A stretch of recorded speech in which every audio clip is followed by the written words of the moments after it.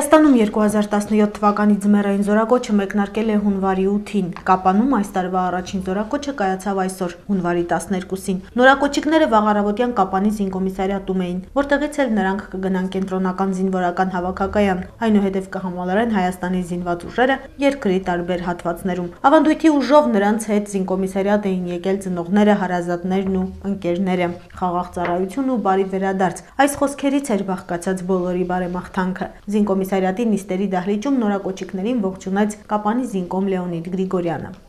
Լավ տրամադրությունները։ Պատրաստ եք բանակ գնալու։ Ապրեք։ Բացական մարդ կա։ Չէ։ Մալացի։ Հենց ստեղից է սկսում արդեն կարգապահությունը։ Զորում մի բանի համար ուրախացա այսօր, որ բոլորը ժամանակին եկել։ Բանակը քաղաքացիական կյանքից տարբերվում է նրանով, որ բանակում նշված ժամին, նշված տեղում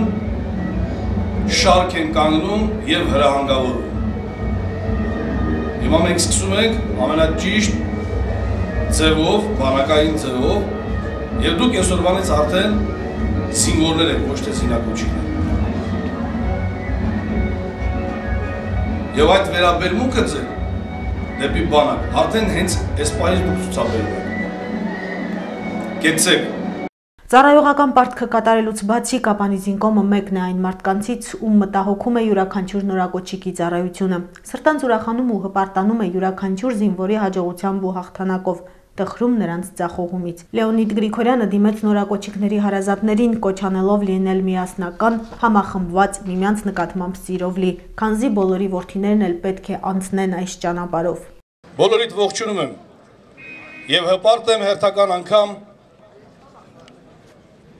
ձեզ եմ ներկայացնում Կապանի տարածաշրջանից թվով 26 զինակոչիկների, ովքեր մեկնում են պաշտպանելու մեր հայրենիքը։ Եվ այսօրվա մեր միջոցառման կարգախոսը,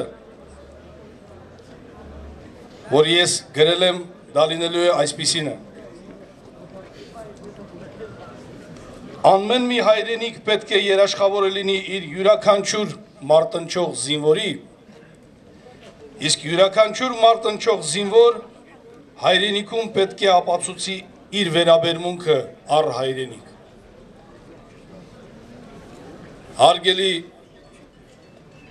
հայ ժողովուրդ, այսօր եւ ընդմիշտ եւ միշտ մարդիկ իրար ոչինչով չեն եւ չէին կարող զարմացնել քան վերաբերմունքով թե պետությունը իր քաղաքացու նկատմամբ եւ թե քաղաքացին իր պետության նկատմամբ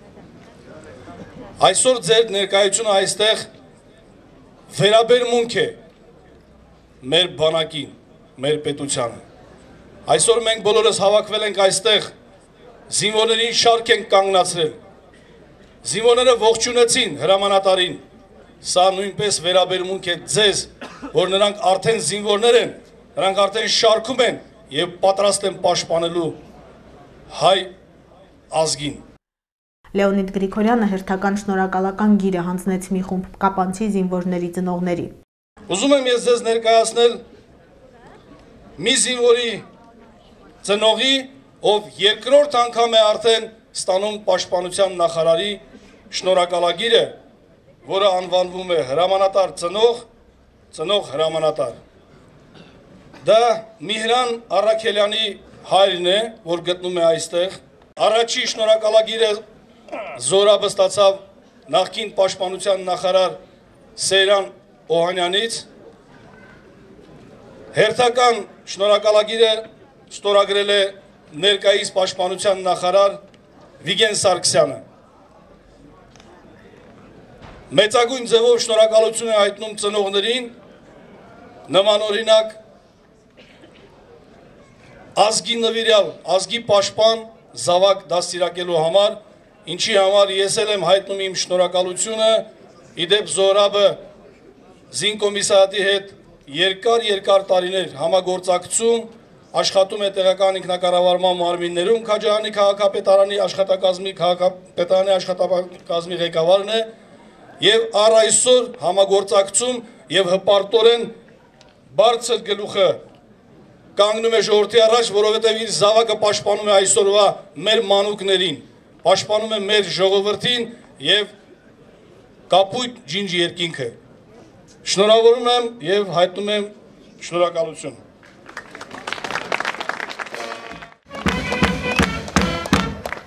նախկին պաշտպանության նախարար Սեյրան Օհանյանի պատվոգիրն է երկու տանկիստների, ովքեր որպես մասնագետներ առանց տրտնջալու առաջին իսկ կանչից զինկոմիսատի կողմից ներկայացան զինկոմիսարիատ մեկնեցին հայրենիքի պաշտպանության սուրբ գործին։ Ես ուզում եմ ներկայացնել ձեզ Ռուսլան Վլադիսլավի Խաչատրյան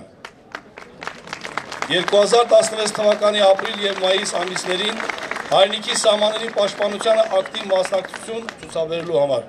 Շնորհակալություն հայտնենք Ռուսլանին։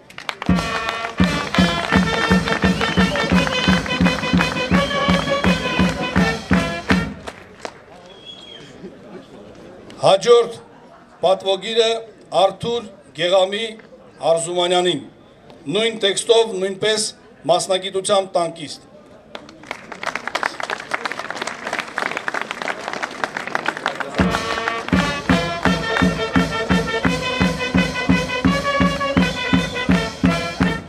Հաջորդ պատվոգիրը, որ պետք է հանձնեմ, պատվոգիրը տրվում է Հանրապետության զինվորական կոմիսար գեներալ-մայոր Հենրիկ Մուրադյանի կողմից հրետանավորներին Արտյոմ Շմավոնի Արաքելյան ապրիլյան մարտական գործողությունների ժամանակ ակտիվ մասնակցության համար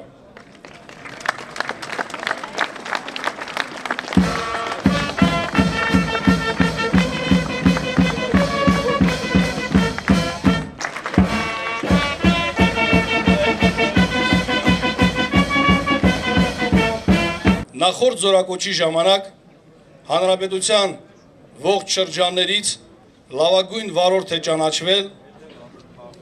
Կապանի Բուատ Փակ բաժնետիրական ընկերության վարորդ Արթուր Գեղամի Արզումանյանը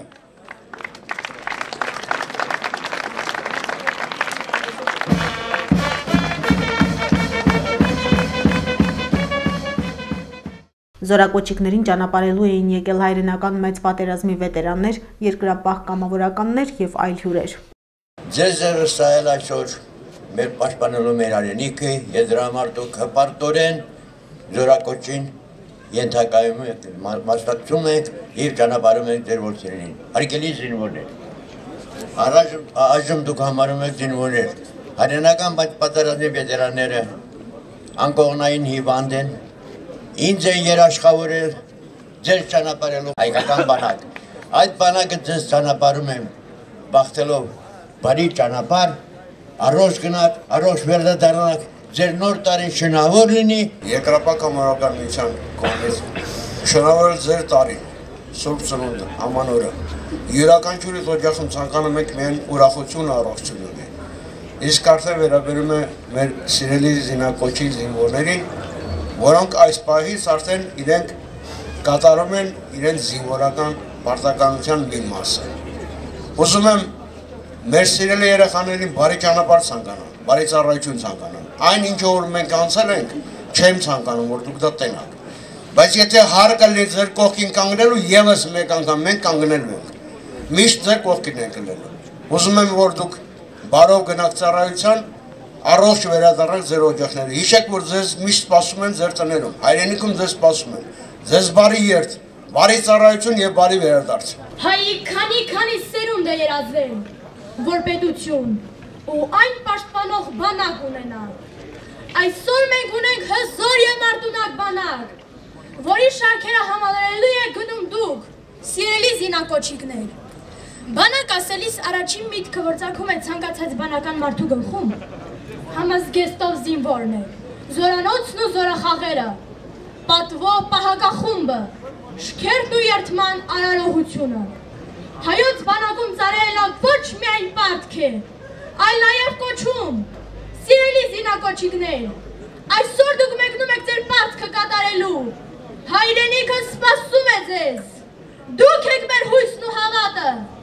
Ձեզ բարի ծառայություն ու բարի վերադարձ հայրենի տուն։ Փառք ու պատիվ զինվորներին,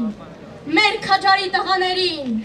Եղեք տոկուն, եղեք կանգուն ու մեզ բերեք ուրախություն։ Լավ ծառայեք, իրար հարգեք եւ ձեր կյանքը սիրով ապրեք։ Կանցնի ամեն դժվարություն ու կդառնա հիշողություն։ Արի քաջեր, լավ հիշեցեք։ Ձեր մայրերի ճրակն եք դուք։ Հայրենիքի պատիվն եք դուք։ Դուք եք մեր սերն ու հույսը, հայոց ազգյան մարլույսը։ Իրարով միշտ հպարտացեք, այս խոսքերը լավ հիշեցեք։ Խաղաղություն, խաղաղություն։ Ես ձեզ ցանկանում եմ մարտական ոգի։ Երբեք չընկրկել, լինել տոկուն, խիզախ, քաջարի, չվախենալ ոչ մի բանից։ Մեր երկրապահի ներկայացիչը ասաց. դուք մենակ չեք լինելու։ Մենք ձեր կողքին ենք լինելու միջևերջ։ Անհրաժեշտության դեպքում առաջին գից մտնելու ենք մենք։ Հայտարարում ենք պատասխանատու ձևով։ 18 տարեկաները մեր սրբություններն են։ Մենք պետք է պաշտպանենք փայփայել, բայց ես ձեզ խաղաղության կոչի եմ տալու։ Դուք այս ճանապարհով որ կգնաք հավաքակայան, սա ես կոչում եմ խաղաղության պողոտա։ Եվ այդ խաղաղության պողոտան ձեզ կհասի միջև հավաքակայան եւ դուք այնտեղ խաղաղություն կպարտադրեք արդեն ճշտամուն։ Երկու տարին ինչ է որ կգնամ կծառայեմ ու տուն կգամ, ասացին նորակոճիկներն ու մեկնեցին։ Հենց կենտրոնական հավաքակայանում նրանք բուժզննում կանցնեն, կստանան համապատասխան թերթիկն ու վիճակահանության միջոցով կընտրեն այն զորամասի համարը, որտեղ գալիք երկու տարում կանցնի նրանց ծառայությունը։ Իսկ այստեղ նրանց ծնողներն անհամբերությամբ սպասում են վիճակահանության արդյունքներին, դա իմանալուց հետո էլ երթմնակալության օրվան։